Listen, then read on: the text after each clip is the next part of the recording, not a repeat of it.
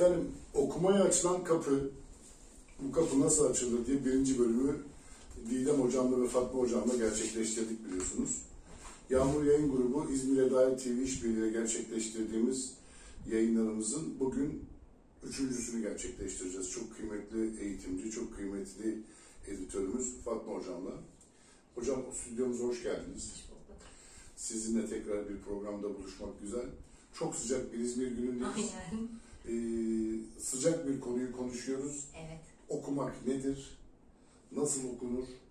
Ee, okumak isteyenlere nasıl yardımcı olabiliriz? İşin uzmanından bilgiler vereceğiz.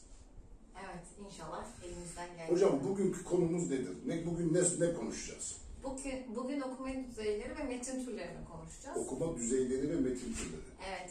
Şimdi Çok özür dilerim. Bugün biraz okuyan insanlarla ilgili detay. evet biraz daha genelleştireceğiz. Yine çocuklardan başlayacağız. Aileler hani çocukları nasıl e, yönlendirmeliden de ufak ufak gireceğiz. Geçen yaptığımız konuşmaya bağlantılı olarak. Ama onun dışında insanlar böyle okuma yapıyorlar ama ben ne düzeyde bir okuyucuyum diye kendilerine sordukları zaman bu cevabı vermeleri için bir yol gösterici olacağız. Gerçekten ben iyi düzeyde bir okuyucu muyum yoksa orta düzeyde bir okuyucu muyum? Onları kendilerine sordukları zaman cevabı nasıl bulmalarını sağlayacaklarını söylemiş olacağız. Bu programda biraz onları şunu mu gideceğiz hocam? Sen eğer böyleysen hani iyi Şöyle var. şöyle gelişebilirsin ama bu durumdaysan kendini böyle geliştirebilirsin. Aynen, aynen o. Buyurun hocam. Evet, e, şimdi dediğim gibi önce yine e, bizim e, özellikle çalıştığımız hani alışkanlık haline e, daha okul öncesinden geliyor diye geçen e, programda da konuşmuştuk. Yine oradan başlayarak böyle genel olarak genel okuyucu kitlesi daha yetişkin düzeylerinden de bahsedelim.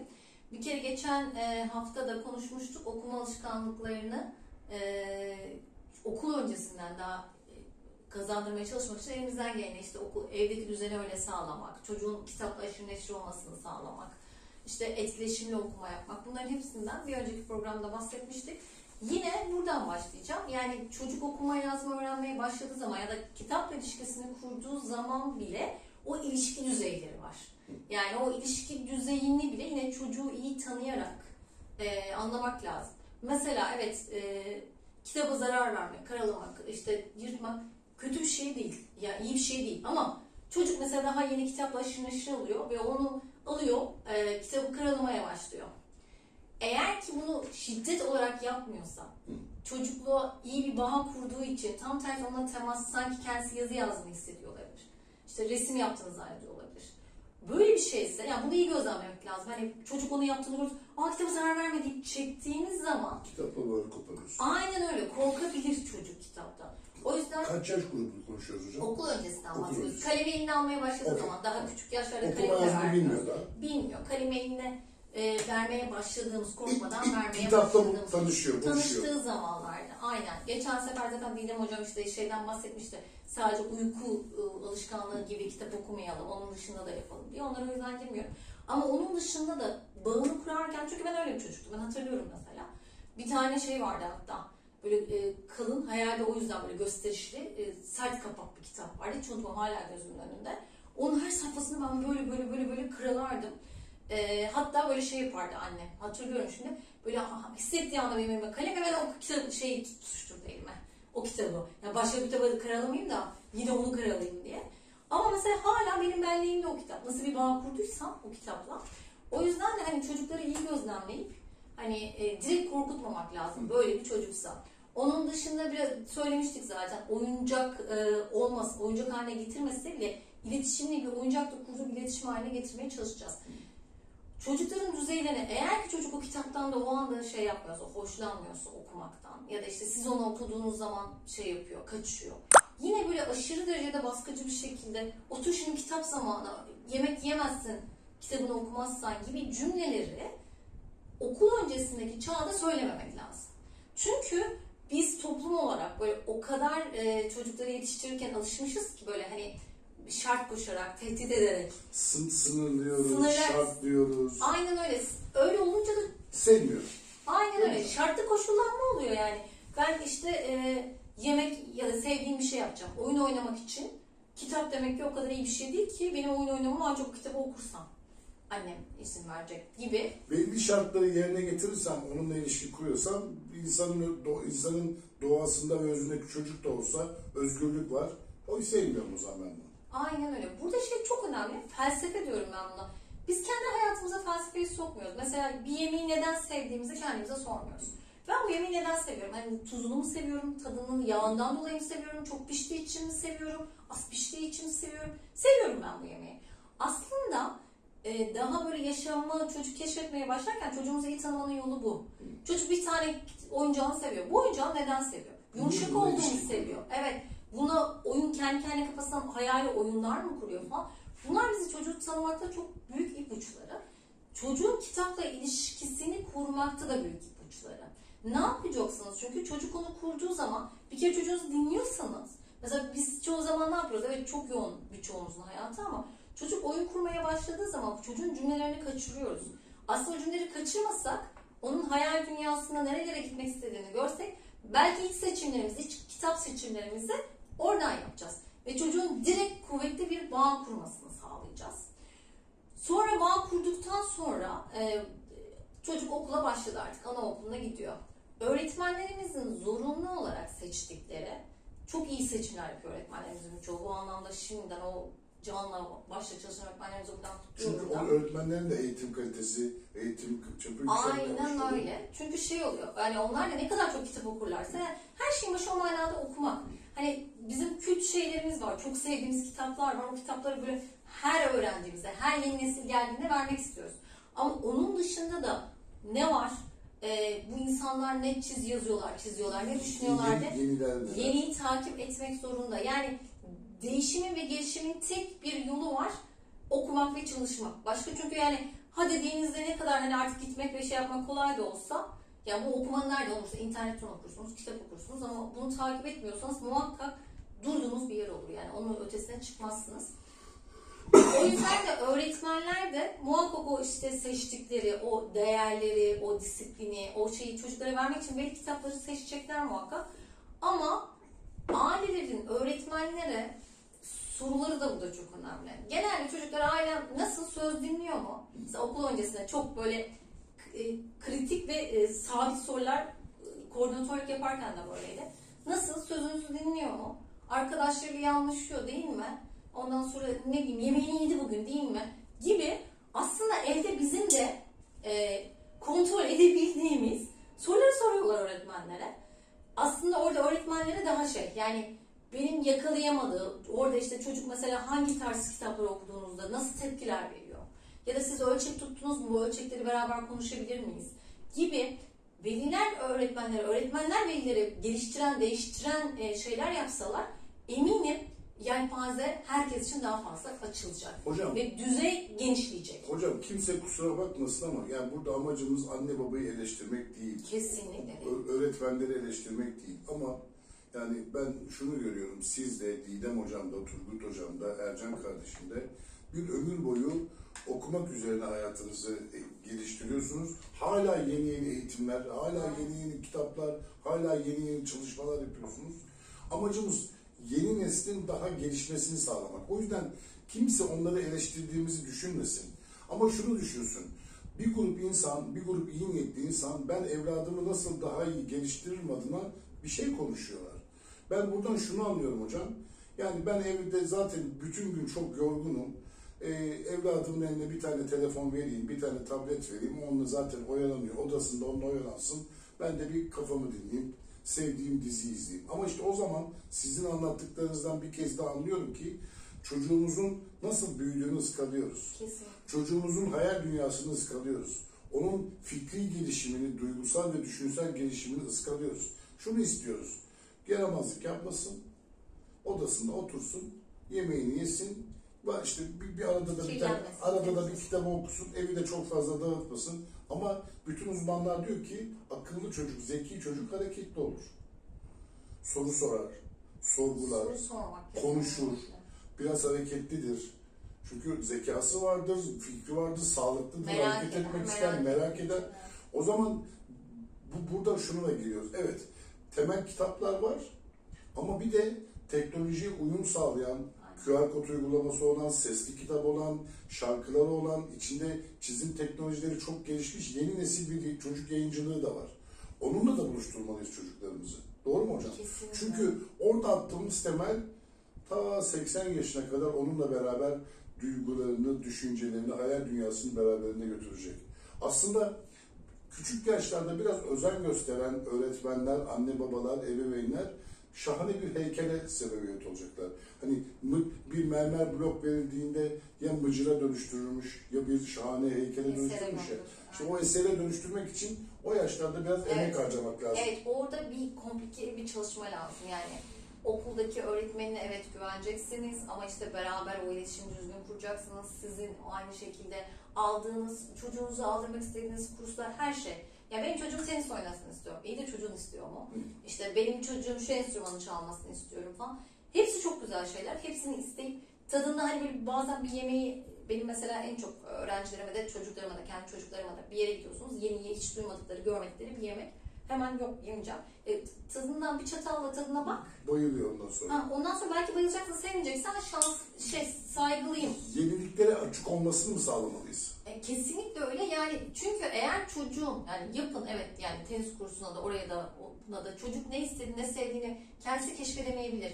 Bu konuda tabii ki yol gösterici olacağız. Kesinlikle yol Ama, ama gösterici orada olacağız. değil. Ama aynen öyle. O neden şey yapmıyor orada? Yani neden sevmediğini ona sorun. Tamam gitmiyorsan saygılıyım. Onu yapmak istemiyorsan, bu kitabı okumak istemiyorsan saygılıyım. Ama bana nedenini açıkla. Kendini de ikna et, beni de ikna Neden et. hoşlandın, neden hoşlanmadın? Belki takım sporlarına yatkın, belki bireysel sporlara yatkın, belki spora yatkın değil, sanata yatkın, sanatın hangi dalına yatkın? Ben şimdi şeyi görüyorum hocam. Evet anne babalar çok mek, çok istekli, çok heyecanlı ama bir kısmı da kendi yapamadıklarını çocuğun üzerinde yapmak istiyor. Bazen bazen bazı sevgili dostlarımızla konuştuğumuzda bakıyoruz ki ya Erhan'cığım bunu var ya ev- evet bu 9 tane kursa gitti hiçbirini sevmedi. Acaba o 9 tane kursa gitti mi yoksa sen mi ona zorladın? zorlaması da bir noktaya kadar zorlamak hani şöyle şu anki e, özellikle Z ve alfa kuşağı e, şeyi de seviyorlar yani böyle birazcık e, nasılsın e, tembel hayvan demek belki şey olacak koala cinsi hani böyle Rahat bir yaşam. rahat böyle esnek bir yaşamı seviyorlar o yüzden zorlamak da gerekiyor Hı. hani Motive etmek. Evet böyle içine bir atıp hani suya bir atarsınız ama kıyıda hani onu yakalayacağınız yerdesiniz ya çekeceksiniz. Ee, bu Z ve alfa kuşağına onu da yapmak lazım. Yani suya böyle bir atmak lazım. O kendisi de benim buradaki tek kritik nokta kitapta da aynı şey var. Sevdiğini ya da sevmediğini yani çocukla daha çok konuşup onu daha çok dinlemek gerekiyor. Onunla büyümek, onunla beraber büyü- Onun ona belli. Ya ben ona işte ona ben çok güzel yatak odası aldım, çok güzel oyuncaklar aldım, çok güzel işte televizyonu odası da var, interneti var, tableti var. Niye eksik ya? Sen eksiksin. Sen eğer anne baba olarak, ebeveyn olarak onun hayatında eksiksen onun gelişiminde eksiklik oluyor. Ben bunu anlıyorum sizin anlattıklarınızdan. Onunla beraber yaşamak, onunla beraber büyümek, onu birey yapmak. Aynen öyle. Hem siz, siz çocuğunuzu tanıyacaksınız hem o. İnan yani ben şimdi geçmişime baktığım zaman çocuk, e, ailemle eksik olan bağ ne?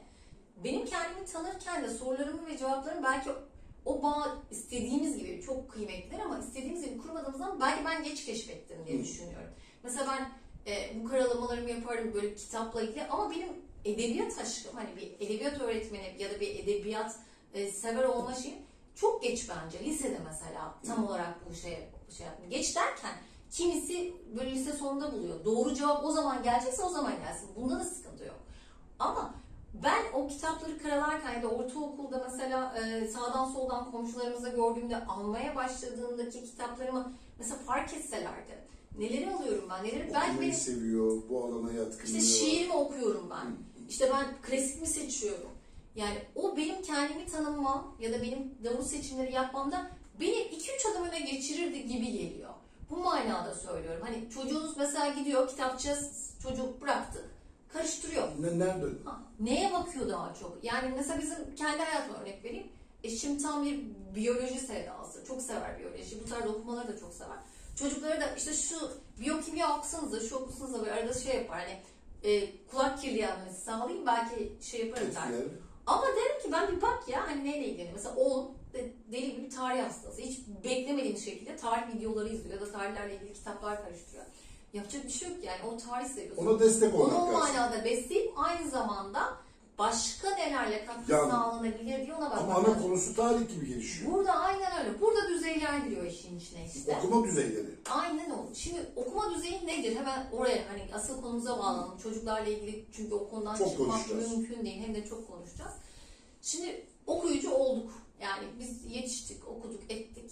Okuma yazma biliyor olmak Lisede miyiz? Ortaokulda mıyız? yani hayatın içine girdik. Ha, artık birey haline geldik okuyor. Okumayı Okuyan hayatımıza, bireyiz. evet, okumayı hayatımıza soktuk. Bu Tamam. kimi için ortaokulda olabilir, kimi için lisede olabilir, kimi için daha ilkokulda olabilir. Okey. Yani bir düzenli bir Kitap okuma okuyucusu. süreci aynen hayatımıza girdi. Şimdi bir kere birinci nokta okuma yazma biliyor olmak sizi okuyucu yapmaz. Yani o siz okuma yazma bilen kişisiniz sadece.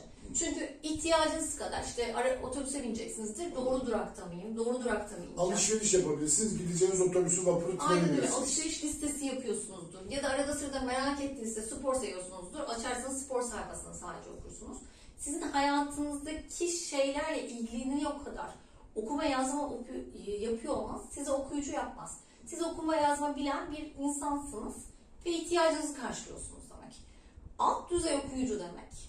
Sadece e, kitapla ilişki kurmadan sadece ihtiyacı kadar işte gazete, dergi, şimdi sosyal medyada çok fazla seçici davranarak orada önüne kendi seçtikleriyle önüne düşenleri okuyan kişi alt düzey okuyucudur.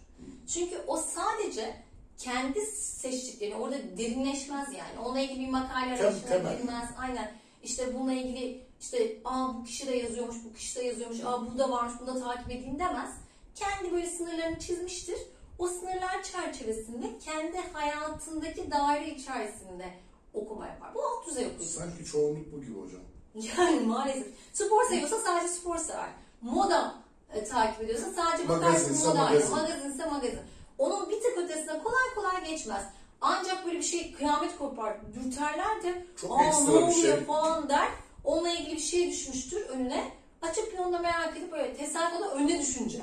Önüne düşmezse, hani onun önüne biri atmazsa onu da merak edip böyle. Bu alt düzey Ama okuyucu. bizim sevdamız bir tık yukarılara çıkmak. Evet. Hatta mümkünse öyle artık ileri düzeye doğru gitmez. Orta düzeye geçtik. Orta düzeyin içerisinde kitap vardır artık hayatında. İşte bizim bu şu an yaptığımız gibi kitap vardır. Ama orada da ne yapar? Genelde orta düzey okuyucu yine tercihleri vardır. Mesela der ki ben polisiye kitap çok seviyorum. Ama o insanın hayatına bir girersiniz. Polisiye dışında ne okumuş? Neredeyse hiçbir şey bulamazsınız. Fixlenmiş. Aynen. Şey yapmıştır, işte annesinin, babasının zorladığı kitaplar, öğretmenlerinin zorladığı kitaplar, öfleyerek, küfleyerek okuduğu kitaplar ve onun dışında sadece polisiye. İşte onun dışında sadece e, ne seviyordur diyelim, fantastik. Başka hiçbir şey yok. Birazdan türlerden de biraz bahsedeceğim. İşte ileri düzeyde türler bizim için önemli çünkü metin türleri çok önemli. İyi bir okuyucudur, kelime hazinesi iyidir ama o bile uzmanlar tarafından ileri düzey okuyucuya çıkartılmıyor. Ya da yine çok iyi okuyucudur, sadece mesleğiyle ilgili okur. İşte avukattır, bir dosya okuyordur, hukukla ilgili okuyordur. İşte e, doktordur, sadece tıp makaleleri okuyordur. Yine mesleğinin ona zorladığı kadar orta düzey okuyucudur, çok okumayı okuyordur. Yani eğer gerçekten okuma şeyimiz saat, günde bir iki saat okuma yapıyoruzdur ama bunu çeşitlendirmiyorsak uzmanlar bizi orta düzey okumada bırakıyorlar. Tamam. Bunun bir üstü var. İleri düzey. İşte orada metin türleri işin içerisine giriyor. Şimdi uzmanlar yine e, edebiyat bilimcileri, edebiyata ben bilim olarak bakıyorum. Çünkü bence e, bir disiplinle gelişen, değişen ve gelişen her şey bir bilimdir. Bu, bu çok çoklu bir disiplin hatta edebiyat. Değil mi hocam? Kesinlikle çoklu bir disiplin. Neden? Biri bir tez ortaya atıyor. Yani bu disiplinin çerçevesi bu diyor. O tez durumunda başka bir şey ortaya çıkıyor. İşte es klasik dedik, modern dedik, postmodern diyoruz. Şimdi is- distopik diyoruz, başka şeyler falan koyuyoruz. Sürekli bir gelişim ve değişim. Dünyaya e, ayak uyduran bir değişim ve gelişim var. O zaman bu bir bilimdir. Yoksa aynı dairenin içerisinde kalırdık. Yazım türleri de değişiyor, gelişiyor, çağa ayak uyduruyor. Evet, Geleceği, geleceği belirliyor, tanımlıyor. Ama bir tane şey var böyle. E, zeminde e, edebiyat bilimcilerin yerleştirdiği bir çok benim çok sevdiğim e, okulda müfredat konusu olarak anlattığımız ama insanların aslında bunu bilirse hani yaklaşırken, metinlere yaklaşırken de doğru yaklaşacaklarını düşündüğüm için özellikle bugün konuşmak istedim bu metin türlerini. Bu, bu, bu metin türleri, şu an konuştuğunuz e, katman ileri okuyucunun İleri, zaten. bilerek, evet, ileri Yani o, okuyacak için. o, o zemin Onu bilerek dediğimiz okuyor. o, o zemin İleri okuyucu onu bilerek okuyor. Yani Hı. o, o katmanı biliyor. Bu okumamda ben bu katmandan yani. Ve genelde edebi metinler artık bu şey çünkü ileri düzeyi ok- okuyan insan artık zevk için okuma şeyine geçmiştir. İhtiyacı geçmiştir yani. Yani artık o, o edebi zevki tatmıştır. Hani herkes mesela dizi izler ya da popüler bir film izler. Ama gerçekten sanatsal bir filmi gerçekten sinema aşkları gidip mesela e, film festivallerine katılır. Oradaki filmleri kaçırmak istemez. Neden? Oradaki o e, sanat zevkini almıştır. İşte ileri düzeylerdekinin çoğu artık bizim edebi zevk dediğimiz edebiyat, gerçek ve edebiyat eserinde olan zevki almaya başlamıştır. okuma gurmesi oluyorlar. Kesinlikle. Çok alıyorlar, güzel lezzet duyuyorlar Tamam, değil mi? Aynen öyle o gurmeyi ve hangi metin türünde ne olması gerektiğini artık bilerek yapıyor. Edebi metin dediğimizde edebiyat bilimciler çok güzel bölmüşler. Demişler ki bir anlatmaya bağlı metinler var. Bir de kişisel hayat kaynaklı var. Hı. Muhteşem bakın anlatmaya bağlı diyor. Yani yazar Yazar kendi dünyasını yazar bir şekilde kendi dünyasını gözlemlediği dünyayı, dinlediklerini, duyduklarını, hayallerini anlatma ihtiyacı duymuş. Tamam. Ve demiş ki ben şimdi anlatıyorum aldıktan sonra senin o metin. Sen ne metninle ilgili ne söylemek istiyorsan beyninde içinde onu söyle.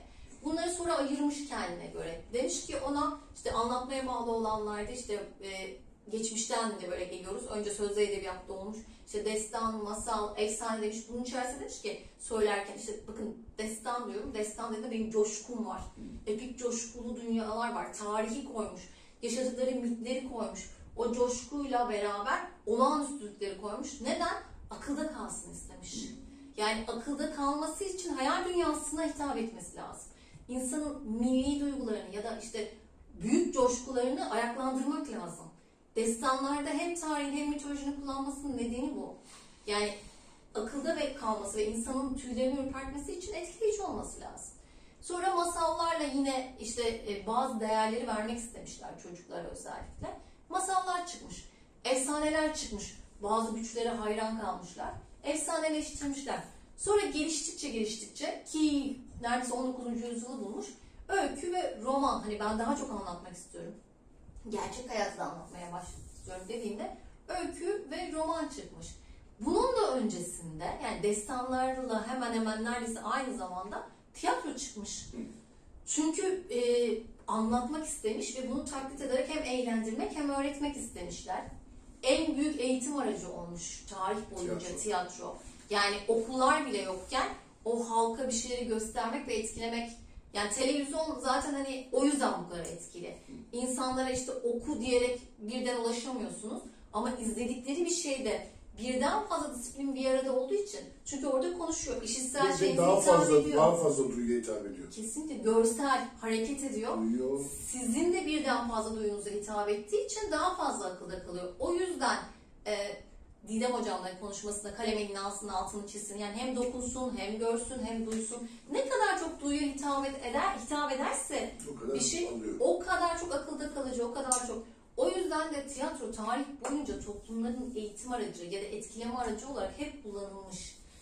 O yüzden şu an televizyon, işte sosyal medya, videolar yani kitabın her zaman ön, önünde. Çünkü direkt etki ediyor. Direkt bütün duyularınıza hitap ediyor. Ve ne şanslıyız ki bütün bu kültür, bütün bu medeniyetin beşiği olan bir şehirde yaşıyoruz. İzmir'de yaşıyoruz. Evet, her şey Yani kolay bu ulaşıyor. tiyatro dediğimiz olgunun hani ilk çıktığı yerlerden biri Seferihisar Teos.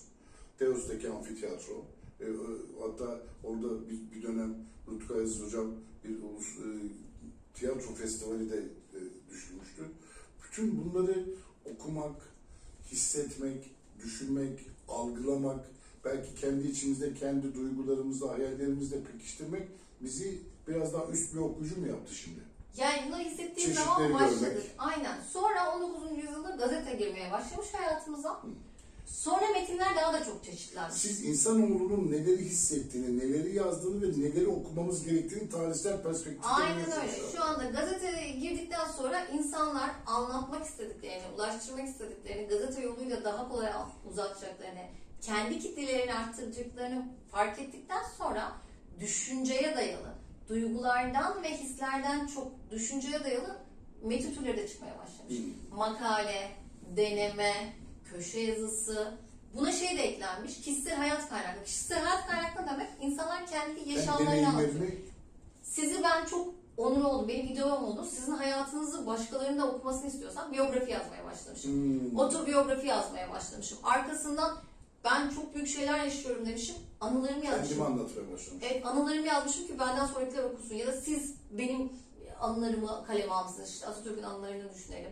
E, gibi gibi bunun gibi daha bir sürü mektuplar. Bunların hepsi kişisel hayat kaynaklı diye bakıyor. Yani Tamam. insanlar kendi hayatında. Ha şimdi bunun düzeylerle ne alakası var? Şöyle bir alakası var. İşte siz ileri düzey okuma olduğunuz zaman kendi psikolojinizi, kendi hayatınızı, kendi ihtiyaçlarınızı, tarihinizi, bugününüzü ve geleceğiniz için farklı farklı metin türlerine ihtiyacınız var. Bir şeyi merak ediyorsunuz. Orada ileri düzey okuyucuysanız bunu gerçekten uzmanları bu konuda ne yazmış diye merak etmeye başlıyorsunuz.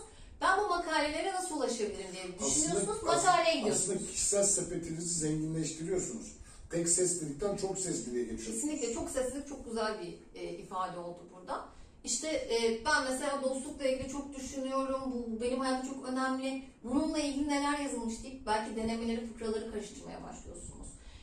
Ben o yüzden derim ki psikolojinizi iyi takip edin. Kendi hayatınızı iyi tanırsanız başucunuzda en az 3 ya da 4 tane kitap olmalı derim. Mesela roman, edebi zevk veren, sizi başka dünyalara çeken, kesinlikle başka başka alanlara çeken, her insanın böyle takip ettiği, devam ettiği, bitirmekten haz aldığı. Hani bitirdim, yeni bir romana başlıyorum, yaşasın diye Ya bu kitabı okudum çok var. lezzetliydi, çok güzeldi, Kesinlikle. çok tartıştın kendi içinde eşinle tartıştın, arkadaşlarla tartıştın. Ya yazar şöyle yaptı, böyle yaptı. Bir aslında beslendin ve güçlendin. Değil mi hocam? Kesinlikle. Daha daha güzel düşünmeye başladın. Belki yazarın yerine ben burada finali nasıl yaparım dedin. Etkileşim gelişti. Aynen öyle. Onu hay şeyle yaptın ya da onu bireyselleştirdin. Farklı bir haz alıyorsun. Şeye geçtik. O gün mesela çok kötü bir gün geçirdin ya da eşinle tartıştın, arkadaşınla özlürdün. Bir şiir o kadar güzel şeyler söyleyebiliyor ki o anda. Şiir kitabınız var birkaç tane. Ben e, hala yaparım ama eskiden daha da çok yapardım. Şiir falı bakardım. O gün mesela kötü bir gün geçirdim ya da çok mutluyum. Hemen gelirdim açardım. Bakalım bugün bana işte Cemal Süreyya ne söyleyecek? Behçet Necati ne söyleyecek? Gibi açıp yani bugünümle ilgili oradaki söylediğiniz sanki bugün hayatımla ilgili Behçet Necati ile bir elektrik, bir e, iletişim kurmuşum gibi hissederdim. Çünkü bazen bir dörtlük bir hikaye, hikaye kadar O etkileyebiliyorsun. kadar özlü anlatıyor ki aforizmalar bile işte şey düşündüğümüz zaman işte Ömer Hayyamları falan falan düşündüğümüz zaman yani gerçekten beni mi izliyor falan dediğiniz anlar oluyor Nasıl yani. yani? O da mı yaşamış? Gibi. Aynen öyle düşünsenize bir de orada yalnız olmadığınızı görüyorsunuz. Bu size inanılmaz bir yaşam azmi Güç veriyor. veriyor, enerji veriyor. Benim yaşadığımı hani benim söylediğimin aynısını o da söylemiş. Güç veriyor. ben enerji yalnız veriyor. değilmişim ki bu dünyada. Kesinlikle o da bunu seviyormuş. O da bunu söylüyormuş. Hem de kitleleri O da bunu yaşamış. sevdiği gibi. Onun e, oraya onu koyduk. Onun arkasında mesela bir tane deneme ya da işte böyle köşe yazılarını derleyen yazarlar var. E, onlar da sizin kendinizi ifadenizle ilgili size yardımcı oluyor. Mesela bazen birilerine bir şey söyleyeceksiniz. Bir türlü nasıl anlatacağınızı, nasıl ifade edeceğinizi bilmiyorsunuz. Ve bu gerçekten o an için hayatınızda önemli bir nokta. Arkadaşınızla şey yapmışsınız, e, tartışmışsınız ve ona, onu kendinize bir türlü anlatamıyorsunuz. Bununla ilgili kişisel e, hayatla ilgili bu kişisel gelişim kitapları da okuyabilirsiniz tabii ki. Bir dünya var artık uzmanlar tarafından yazılan, işte Yankı Yazganlar, Doğan Cüceloğulları. Onlar da olabilir seçtikleriniz yanında. Molière'in denemeleri benim, yani a, dostluk hakkında ama Molière o yüzyılda ne söylemiş ki? Deyip açtığım, hani o an toparlayamadığım ya da bir şey yazıyorum, bir metin yazıyorum mesleğimle ilgili, bir şeyle ilgili, bir temayla ilgili. Bir türlü cümleleri toparlayamadığımda ya kesin bununla ilgili işte Nurullah Ataç bir şey söylemiştir. Bununla ilgili işte Molière bir şey söylemiştir. Başvuru kaynak temel kitaplar var. gibi açıp baktığım zaman ondan sonra böyle derya gibi akıp o kadar O çok kilidi oldu açıyor ki. değil mi hocam? Kesinlikle. O yüzden ben diyorum ki ha bu tabii ki insanın hayatına göre, zevklerine göre, ihtiyaçlarına göre tabii ki çeşitlenmeli. Ama ileri düzey okuyucuların kütüphanesinde kesinlikle tek tarz kitap yoktur. Şiir, sözlük vardır bir kere. 3-4 tane sözlük vardır. Başka dillerin sözlüğü bile olur. Çünkü o kelimenin anlamını e, ben yaşıyorum bazen mesela. İstediğim, ya tamam o kelimeyi orada kullanıyorum ama emin değilim o orada o istediğim anlamı veriyor mu diye. Açıyorsunuz bakıyorsunuz bir sözlükte iki anlam varmışken ki TDK bu konuda TDK çok iyi. Ama bazen onun geldiği dilin sözlüğüne baktığınız zaman artık o konuda e, sosyal şeyde e, anında çeviriler yapıyor. Çok şanslıyız yani ne anlama geldiğini. sözlükler, şiir kitapları, kişisel gelişim kitapları, romanlar, öyküler, ileri düzey okuyucuların evinde genelde kütüphanelerinde işte ya da işte internetlerinde, driver'ında falan bu ça- tarz işte makaleler indirdikleri Bir zenginlik var. kesinlikle vardır. Çünkü o an hayatında ne ona yönlendiriyorsa hayatı kesin o ihtiyacı besleyecek okumalar yapmaya ihtiyaç duyuyordur ileri düzey okuyucu ve onları yapıyordur. Eğer siz ileri düzey okuyucusanız işte hayatınızda o an mesela bir problemli bir dönemden geçiyorsanız kesin kişisel gelişim okuyordur o kişi romanının yanında. İşte e, o anda yeni bir eğitim alıyorsa eğitimde öğretim şeyin hocasının ona e, söylediklerinin dışında araştırdıkları kesin vardır. Okuyucu dürtüyor yani. O dürtüyor. Siz artık ileri düzey okuyucuysanız sizi dürten bir güç oluyor ve siz gidip onları böyle seçip seçip hayatınıza alıyorsunuz. O yüzden bizim toplumumuz maalesef ki okuyucu olanlar da ya alt düzey ya da en iyi bizi mutlu eden alkışladığımız orta düzey okuyucular olarak e, kalıyorlar. E, tabii ki ileri düzey okuyucu olmak da belki bir hayat seçimi. Yani okumayı çünkü o yüzden ben ilk e, bu şeyi yaptığımaya başladığımızdan beri okuyarak yaşamak diyorum. Çünkü okuyarak yaşarsanız yavaş yavaş sizi hayatı ileri düzey okuyucu olmaya çekiyor. Hocam kulüp adı vermeyeyim ama son dönem sosyal medyadaki yani birkaç gündür en çok takdir edilen ve konuşulan videolardan birini paylaşayım sizinle. Bilgi Üniversitesi'nin eski rektörü çok önemli bir kulübümüzün başkan yardımcısı seçildi bu hafta. Ve bir açıklama yaptı. Ee, Bir e, açıklaması var, kamuoyu açıklaması var. Ee, Bütün Türkiye'deki bütün renkler, bütün e, kulüpler, her görüşten insan hocaya sevgileri, saygıları ve takdirlerini ilettiler. Ben dedim ki ya kim bu adam? Ya bu adam bu kadar güzel konuşan, sakin konuşan, bu adam kim? Adam Bilgi Üniversitesi eski rektörü çıktı. Yani. E, Fransız Kültür Akademisi işte de önemli bir adam çıktı falan. Şimdi o zaman diyorsunuz ki ya, Tesadüf değil değil, bu takdir ettiğimiz, bu beğendiğimiz hani popülerlikten de bir bilgi arz etmek istedim güncellikten. O zaman bu kadar güzel konuşan, bu kadar etkili konuşan, hatta toplumun ihtiyacı olduğu şekilde konuşabilen bu adam bence çok ileri düzey bir okuyucu. Sizin anlattığınız gibi. Onun portföyünde bence her şey var ve kendini yapmış adam. Yani mıcır yapmamış, şahane bir eser yapmış hocam. O zaman herkesin, hani hatta genç insanların, anne babaların kendi evlatlarının bir esere dönüşmesi için onları birer ileri düzey okuyucu yapmalıyız. Kesinlikle. Yani o konuda hani e, o denize atacak kıs- kısmında onu mümkün olduğu kadar.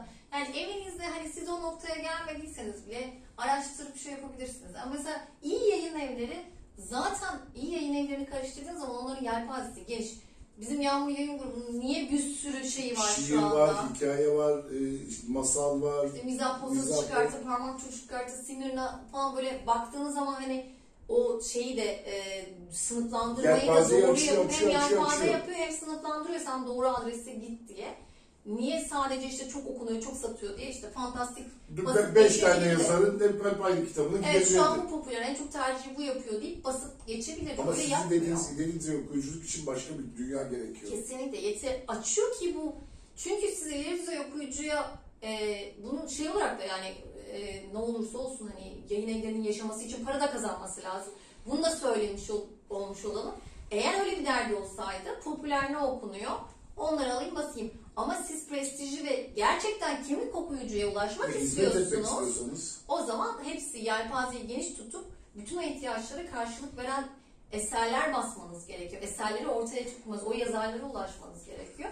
Ben bu anlamda yayın evimle de gurur duyuyorum. Çok kısa zamanda kültür alanında söylüyorum. Gerçekten o yelpazesini en geniş tutan çocuklarda bütün ihtiyaçları karşılar. Biraz önce sizin söylediğiniz QR kodlarda dinleme, konuşma yazmayla, yaratıcı fasikülleri, hikayeler. Masal, masalı, şiiri, Şarkı- öyküsü, romanı, şarkıları ne hani şu anki dönemde ne gerekiyorsa hepsine hitap eden çalışmalar yapıyor ve yapmaya devam ediyor. Hocam bundan ben şöyle bir e, duyuruda bir duyuruda bulunayım. Siz benim eksiklerimi toparlayın lütfen. Sevgili çocuklar, sevgili gençler, sevgili anne babalar, sevgili dedeler, nineler. e, bir çocuğun dünyaya gelmesi dünyanın en büyük mucizelerinden biri.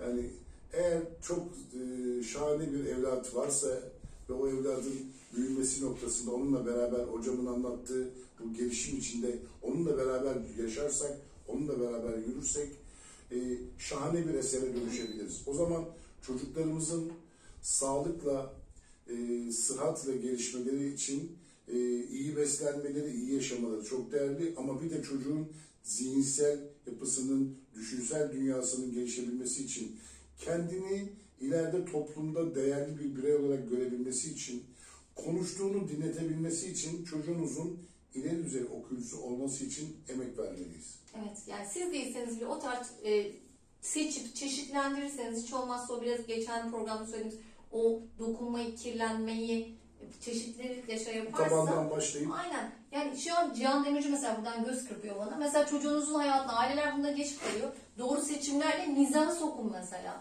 Mizah okuyucusu olmak hümanizmi getirecek. çok önemli. Bir kere zeki oluyor. Mizahtan anlayan insan yani kesinlikle gerçekten mizahtan anlıyorsa hani bu şey de değil yani bazen yanlış anlaşılıyor. Hani işin içerisine biraz argo soktuğunuz zaman mizah yapılıyormuş gibi gelir. Öyle de değil. Gerçekten ironiyi, hicvi koyan mizahtan ve o konuda doğru mizah yapan isimlere işte bizim şeyimizde Cihan Demirci var, atasözler var gibi doğru seçimler yaparsanız o çocuğun mizah anlayışı da gelişiyor. Hocam ben sizin anlattıklarınızdan yola çıkarak yürüyeyim mesela. Tabii tabii. Sizin anlattıklarınızdan yola çıkarak yürüyeyim hocam. E, Eğer temelde bir okuyucuysanız işte argonun mizahına ulaşabilirsiniz. Orta düzey Sadece okuyucuysanız biraz daha gelişirsiniz ama ileri düzey bir okuyucuysanız o kadar keyifli ve o kadar istenilen ve o kadar neşeli bir insana dönüşüyorsunuz ve bütün ortamlarda istenilen insana dönüşüyorsunuz. Aslında okuma sürecinin bir insanın hayatına kattığı çok şey var. Bence daha güzel bir hatunla evlenme şansı var. Top, toplum içinde daha istenilen bir insan olabilir. Sivil toplum örgütlerinde aranabilir. Spor kulüplerinde çok keyifli olabilir. İşte bir sosyal hayatı varsa o sosyal hayatı içinde ya bu kadın olmadan, bu adam olmadan olmaz noktasına gelebilir. O zaman kendinize yatırım yapın. Yatırım aracı da işte burada. Evet. Bunlara bir arkadaş İyi olun. okuyucu olmak çok havalı bir şey. Çok Gerçekten. yani. Bir kere Adam her şeyden anlıyor. Kadın her Evet. şeyden anlıyor. Konuşuyor. sağlığa oradan iyi geliyor diyoruz. Gerçekten sağlığa da iyi geliyor. Çünkü yani bir kere olumlu bir insan oluyorsunuz. Zaten sizin moraliniz yukarıda olunca sağlığınızın gelişmesi Etrafına, sağlanıyor. ailenize, Do- doğru seçimler, doğru insanlarla bir arada olmak her anlamda insana iyi gelmiş oluyor. Kesinlikle e, bizim bu Yağmur Akademi'nin sayfasında da okumanız siz hayatınıza kattıklarında bu söylediklerinizden de tabii bahsettik. canım, Gerçekten hani seçilen insan haline geliyorsun. çünkü sizi dinlemek istiyorlar. Hani şu anda en çok tıklananlara baktığınız zaman onların altındaki yorumlara da baktığınız zaman ya çok şeydir böyle insanlar orada kendi boşaltmak için ha, alan buldum kendime hadi saydırayım demek için yazıyorlar. Ya Ya da da, gerçekten çok iyi şeyler yazmış ve altındakiler de e, ona doğru yorumlar yapmak ya da teşekkür etmek için yazıyorlar. Evet. Yani Tek- Tevfik'i de anlayın. Hani e, isim vermeyeyim o manada hani dümdüz söyleyen insanı da anlayın. Ama Neyzen Tevfik'i anlıyor olmak sizi kesinlikle Başka kırıcı bir yani. yani. Fatma Hocam biz sizinle bu programı saatlerce sürdürebiliriz. Kesinlikle yapabiliriz evet. Ee, ama gelecek programlara da biraz e, Kalsın, kolumuz heybemizde kalsın, kolumuz kalsın. Sevgili dostlar, çok kıymetli bir eğitimciyle, çok kıymetli bir edebiyatçıyla, yayın evimizin çok değerli bir editörüyle e, bugün temel, orta ve ileri düzey okuyuculuk ve bunların insan hayatına, psikolojisi, psikolojisine getirimlerini biraz konuştuk. Ve mümkün olabildiğince, elimizden geldiğince sizle bu konuyu açmaya çalıştık. Ama sorularınız varsa, Yağmur Yayın grubunun bütün sosyal, sosyal medya hesaplarına, İzmir'e dair ile ilişkili ve İzmir'e dair TV ile ilgili tüm sosyal medya hesaplarına, Fatma Hocama, Didem Hocama, Turgut Hocama ne sorunuz varsa lütfen bizimle paylaşın. Biz de ilerleyen programlarda Ona Fatma göre Hocama diyelim ki hocam böyle bir soru geldi bunu nasıl cevaplayalım? Evet böyle bir yön çizelim. Tek amacımız var.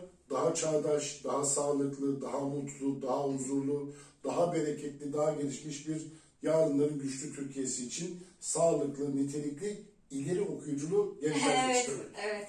İleri Son söz sizden alalım hocam. Evet, teşekkür ederim e, takip eden. e, Önce size teşekkür ediyorum. Hani e, insanın kendini ifade alanı bulması ve bunu daha geniş kitlere ulaştırabiliyor olması çok değerli bir şey.